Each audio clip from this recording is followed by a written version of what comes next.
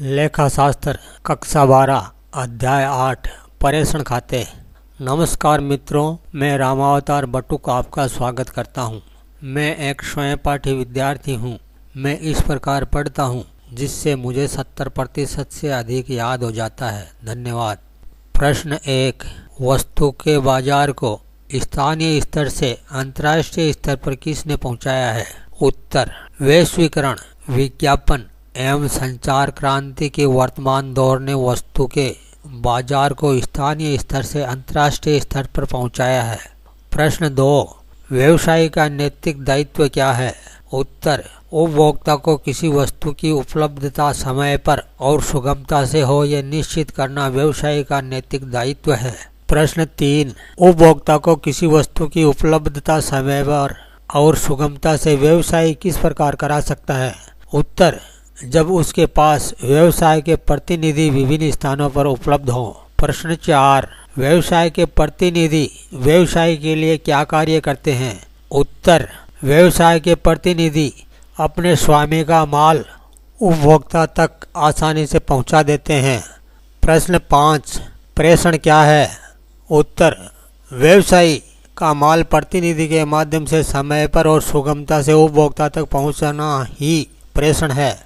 प्रश्न छः, प्रेषण में व्यवसायी स्वामी को क्या कहते हैं?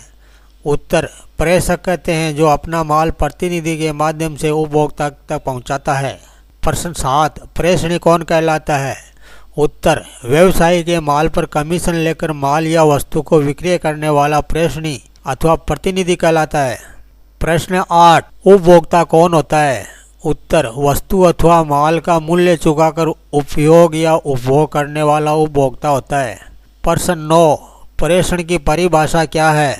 उत्तर, जब माल का स्वामी या प्रधान अपने प्रतिनिधि को इस आधार पर माल भेजता है कि एजेंट द्वारा माल का विक्रय किया जाएगा तथा इस कार्य के लिए उसे बेचे गए माल पर पारिश्रमिक के रूप में निश्चित दर पर कमीशन दिया जाएगा। इसे प्रेषण कहते हैं। सरल भाषा में भेजने की क्रिया का नाम प्रेषण है। प्रेषण संबंधी समस्त खर्चों, जोखिम, लाभ एवं हानियों का उत्तरदायी प्रेषक या प्रधान ही होता है। प्रश्न दस। प्रेषण की विशेषताएँ क्या हैं? उत्तर। एक, प्रेषक द्वारा प्रेषणी को विक्रय के उद्देश्य से माल भेजा जाता है। दो, प्रेषक प्रेषणी में स्वामी एवं प्रतिनिधि का संबंध होता है। तीन, प्रेषण माल का विक्रय नहीं है। चार प्रेषक के निर्देशानुसार प्रेषणी कार्य करता है। पाँच, प्रेषणी को माल के विक्रय पर कमीशन का अधिकार है। छह, माल का वास्तविक स्वामी प्रेषक है। वही लाभ का अधिकारी है तथा आने व खर्चों के लिए उत्तरदायी भी है। सात, प्रेषणी माल का निक्षेपित होता है। माल की सुरक्षा उसका दायित्व है। प्रश्न ग्यारह, प्रेषण का एक वाक्य में उत्तर क्या है? उत्तर, जब प्रेषक द्वारा प्रेषणी को इस आशय से माल भेजा जाता है कि उसके द्वारा विक्रय करने पर कुल माल पर कमीशन मिलेगा, प्रेषण कहते हैं। प्रश्न बारह, जावक प्रेषण क्या है? उत्तर, प्रेषक द्वारा प्रेषणी को भेजे गए माल को जावक प्रेषण कहते हैं। प्रश्न तेरह, आवक प्रेषण क्या है? उत्तर, प्रेषणी के पास प्रेषक के द्वारा आया हुआ माल आवक प्रेषण है। प्रश्न चौदह प्रेषक कौन है? उत्तर, माल का स्वामी जो प्रेषण पर माल विक्रय के लिए भेजता है, प्रधान या प्रेषक कहलाता है। प्रश्न पंद्रह, प्रेषणी कौन है? उत्तर, वह व्यक्ति जिसे प्रेषण पर माल भेजा जाता है तथा इसके द्वारा माल उपभोक्ता को बेचा जाता है, उसे प्रेषणी या एजेंट कहते हैं। प्रश्न सोलह, कमीशन किसे कहते हैं? उत्तर प्रेषणी द्वारा माल को विक्रय करने पर, विक्रय की राशि पर जो पारिश्रमिक मिलता है, उसे कमीशन कहते हैं। प्रश्न सत्रह, कमीशन कितने प्रकार का होता है? उत्तर, तीन प्रकार का। एक, सामान्य कमीशन। दो, परिशोध। या डेल क्रेडर कमीशन। और तीन, अधिभावी कमीशन है।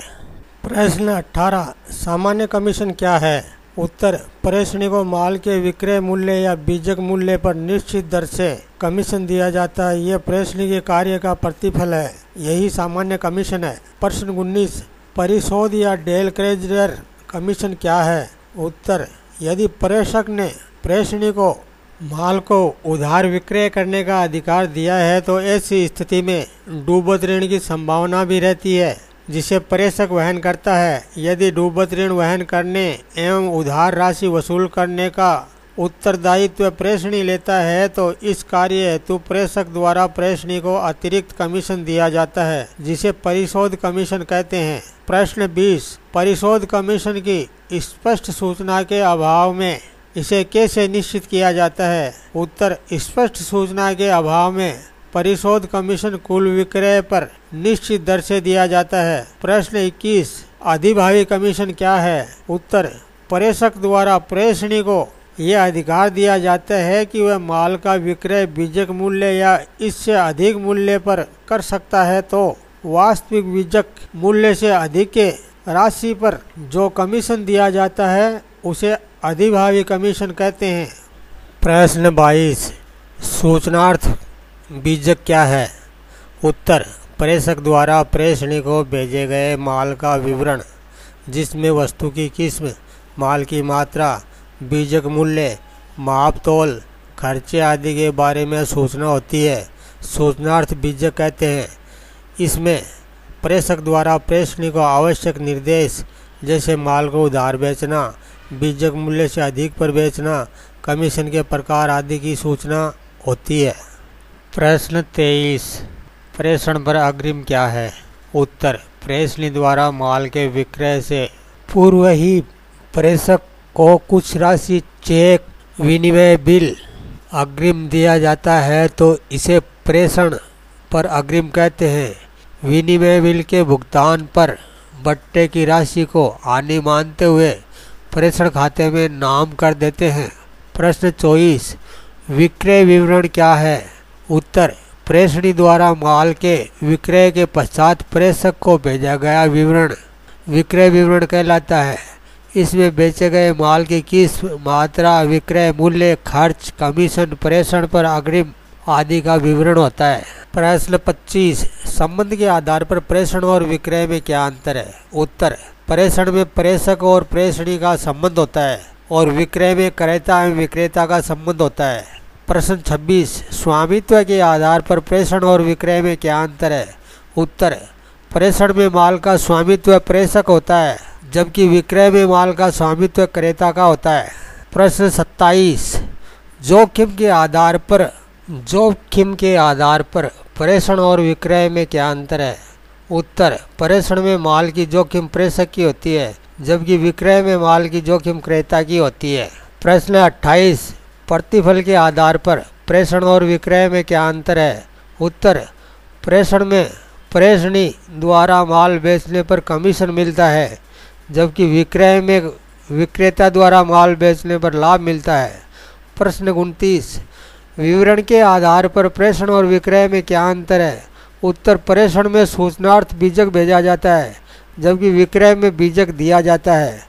प्रश्न तीस अधिनियम के आधार पर प्रेषण और संयुक्त साहस में क्या अंतर है? उत्तर, प्रेषण में आपसी अनुबंध या एजेंसी संबंधी कानून नियम लागू होते हैं, जबकि संयुक्त साहस में आपसी अनुबंध या साझेदारी अधिनियम के प्रावधान लागू होते हैं। प्रश्न इकतीस, संबंध के आधार पर प्रेषण और संयुक्त साहस में क्या अंतर है? उत्तर, प्रेषण में प्रधान एवं प्रतिनिधि का संबंध होता है, जबकि संयुक्त साहस में साझेदारी की तरह संबंध होता है। प्रश्न बत्तीस, पूंजी के आधार पर प्रेषण एवं संयुक्त साहस में क्या अंतर है? उत्तर, प्रेषण में प्रेषक की पूंजी लगती है, जबकि संयुक्त साहस में सभी ही पूंजी लगाते हैं। प्रश्न तेईस, लाभ के आधार पर प्रेषण और संयुक्त साहस में क्या अंतर है? उत्तर, प्रेषण में लाभ केवल प्रेषक को ही मिलता है, जबकि संयुक्त साहस में लाभ का बंटवारा सभी साहसियों को किया जाता है। प्रश्न चौतीस अवधि के आधार पर प्रेषण और संयुक्त साहस में क्या अंतर है? उत्तर, प्रेषण की अवधि संयुक्त साहस से अधिक होती है, जबकि संयुक्त साहस अल्पकालीन होता है। उद्देश्य पूरा होते ही संयुक्त साहस समाप्त हो जाता है। प्रश्न 35 विवरण भेजने के आधार पर प्रेषण और संयुक्त साहस में क्या अंतर है? उत्तर, प्रेषण में माल के विक्रय के पश्चात प्रेषणी द्वारा विक्रय विवरण भेजा जाता है। जबकि संयुक्त साहस में स्वयं द्वारा दिए गए व्यवहारों का विवरण संयुक्त साहसी एक दूसरे को भेजते हैं। प्रश्न छत्तीस, प्रेषक पुस्तकों में कौन कौन से खाते खोले जाते हैं? उत्तर, एक, प्रेषण खाता, दो, प्रेषणी खाता, तीन, प्रेषण पर भेजे गए माल का खाता, और चार अन्य असामान्य हानि खाता आदि खोले जाते हैं। प्रश्न सैंतीस, प्रेषण की पुस्तकों में खोले जाने वाले खाते कौन से हैं? उत्तर, एक, प्रेषण का खाता दो कमीशन खाता आदि खोले जाते हैं। प्रश्न अड़तीस, क्या बिना बिका स्टॉक का मूल्यांकन करना आवश्यक है? यदि हाँ तो किस प्रकार ज्ञात किया जाता है? उत्तर हाँ बिना बिका स्टॉक का मूल्यांकन करना आवश्यक है। इसे निम्न प्रकार से ज्ञात किया जा सकता है। एक, स्टॉक का वास्तविक मूल्यांकन बाज़ार मूल्य एवं लागत मूल्य, जो दोनों में से कम है, उस पर किया जाएगा। दो प्रेषक द्वारा किए गए समस्त व्यय अनुमानित जोड़े जाएँगे और तीन, प्रेषणी द्वारा किए गए खर्चे, अनावर्ती व्यय माल को गोदाम तक पहुँचाने में, जैसे भाड़ा, चढ़ाई, उतराई, चुंगी, मजदूरी आदि व्यय अनुमानित जोड़े जाएँगे। प्रश्न उनचालीस, आवर्ती व्यय कौन से हैं? उत्तर, गोदाम किराया, बीमा व्यय, विज्ञापन व्यय, विक्रय व्यय आदि जिनको बार बार समय समय पर करना होता है। प्रश्न चालीस अनावर्ती व्यय क्या है? उत्तर, भाड़ा, चढ़ाई, उतराई, चुंगी, मजदूरी आदि अनावर्ती व्यय है। इनकी पुनरावृत्ति सामान्यतः नहीं होती है। प्रश्न इकतालीस, प्रेषण में उधार पर डूबत ऋण कौन वहन करता है? उत्तर एक, जब प्रेषणी को कमीशन नहीं मिलता है तो डूबत ऋण प्रेषक वहन करता है। और दो, जब प्रेषणी को डेल क्रेडिटर कमीशन मिलता है तो डूबत ऋण प्रेषणी वहन करता है। ये राशि प्रेषणी के कमीशन में से कम की जाती है। धन्यवाद।